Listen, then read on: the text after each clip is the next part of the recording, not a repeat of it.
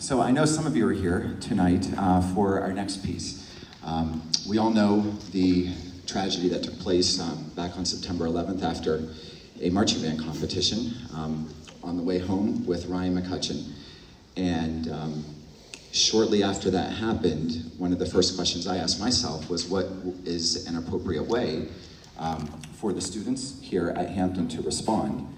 And um, I immediately thought of, well, let's, let's commission a piece in his memory.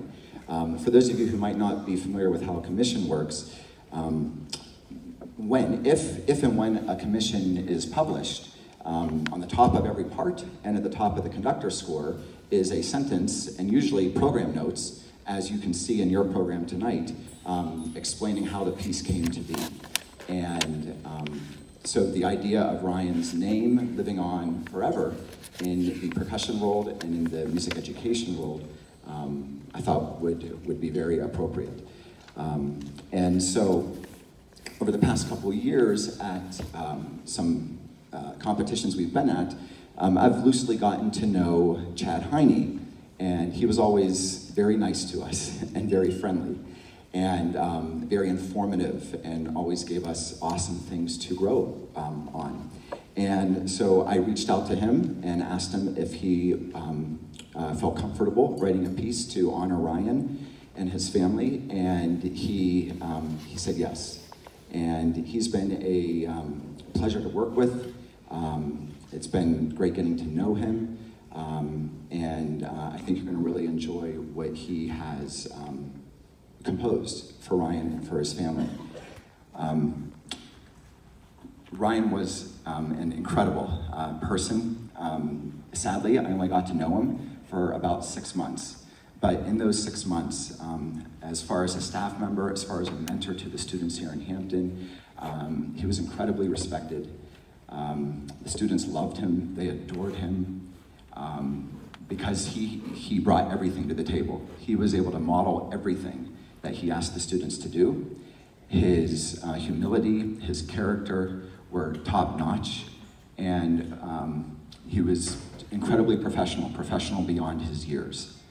And um, it's been a uh, moving experience working on this piece. I want to thank Mr. Desgin, who did the bulk of the rehearsals. Um, I actually got to play at most of the rehearsals. Um, uh, I was filling in for Mr. Hickley, who's our front ensemble instructor and close friend of Ryan who is here from Grove City to uh, perform with us tonight.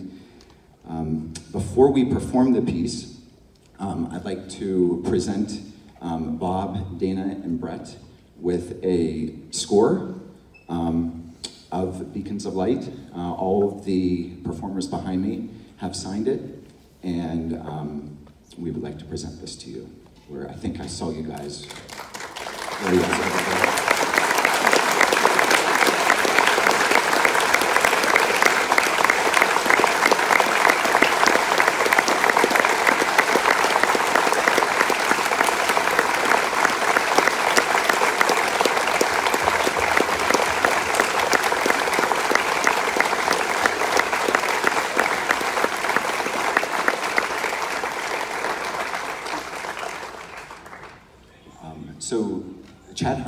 I uh, forgot to include a little bio of him in the program, um, but just very briefly, he is a teacher in the Kiski Area School District as an assistant high school band director and percussion specialist across the district. Um, he did his um, undergrad at IUP and a master's in percussion performance from LSU. And again, like I said earlier, it's just been a privilege and a joy to get to know him and to work with him. So at that, I'd like to introduce Chad Heine and the high school percussion section.